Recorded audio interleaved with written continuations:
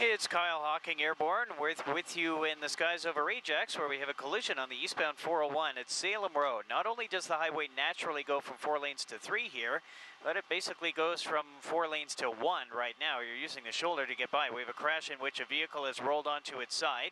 You see there's some sweeping going on, but they've got to roll the vehicle and get it hooked up to a tow before they can uh, remove it uh, from the highway and get some lanes reopened here. So pretty heavy delay on the approach. And we also have a problem on the westbound QEW uh, by Bronte and Oakville. We've got two right lanes blocked there with a crash, and so that's also a heavy stretch heading into Burlington.